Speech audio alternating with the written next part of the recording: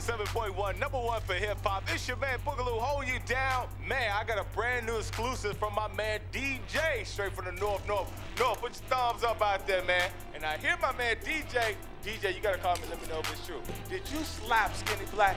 Uh, did you do it, man? Holla at me, man. Power to 7.1, brand new right here.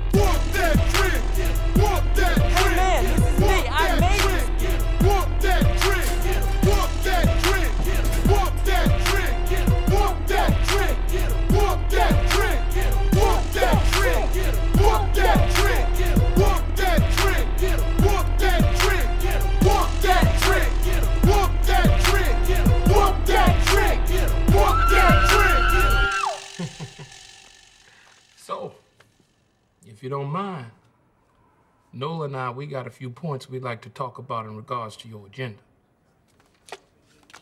As if you got a minute.